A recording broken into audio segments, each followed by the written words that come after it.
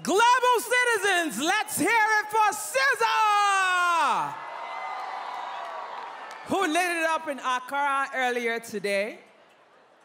You know, this is the only festival I know that will take you from West Africa to the upper west side of New York City!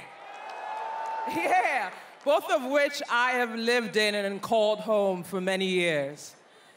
For the first time ever, the Global Citizen Festival kicked off in Ghana.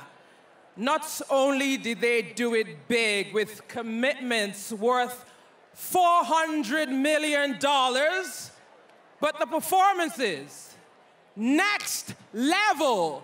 I mean, Mariah, come on now. Yeah. All right, we're keeping that same energy here in Central Park with our next performer.